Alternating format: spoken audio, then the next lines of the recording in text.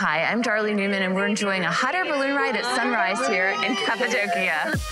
We're exploring the diversity of history, culture, cuisine, and crafts in Turkey. I see what you're doing. I can visualize it. What do you guys think?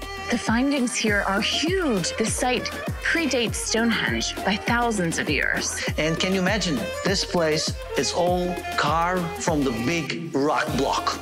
Wow, it's a carpet explosion. Up here, you can really see all the different rock formations and the valleys and the small pockets of vineyards. It really gives you a different perspective on Cappadocia. Passport control, uh, luggage area, conveyor belts, everything is under the ground. It's very space age, exploring the land of fairy chimneys where there are churches, monasteries, and homes hidden within the rocks on this episode of Travels with Darley.